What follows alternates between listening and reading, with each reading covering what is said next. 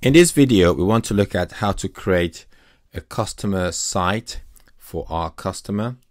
So I'm going to go in as the receivables user, which is uh, collect manners, and I'm going to select receivables from the springboard and billing. Need to make sure that my site is the Acme USA Business Unit 1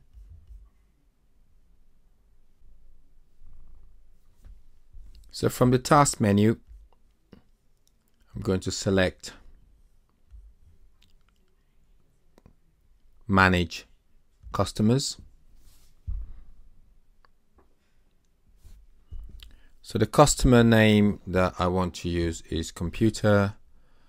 I'm going to actually search for computer services, but I'm going to start with computer and I'm going to click on search. So let's have a look just to make sure that this is the computer service and rentals is the one that I want to look at. So the structure is that you have your customer header, that's the primary address, and we have the account and I want to create a site. So select the create button and in the account address set I'm going to select Acme BU set. So I'm going to select a date from I'm going to go back to January from the 1st of January. Site name I'm going to call it computer US computer actually I'll just call it computer A1 so I'm going to enter the address details. Number 12 Acacia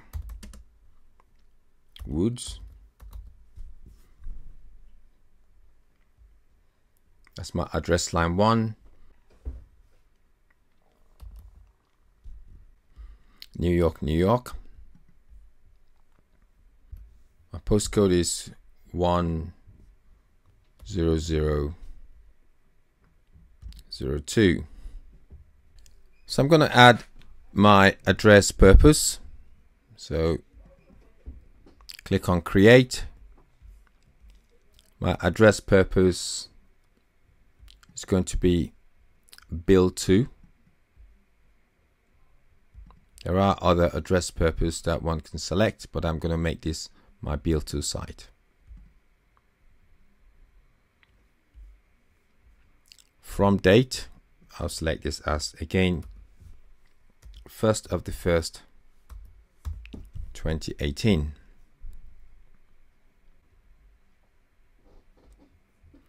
So I'm going to create another address purpose for my for my ship to.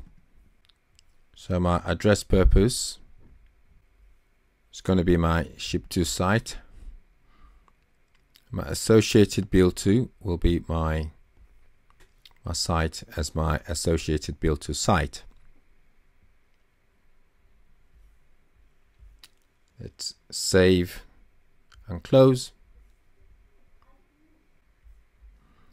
Click on done so we can actually see now that we have our site with the account address set as Acme BU set. So click on done and this will bring me back to my main area.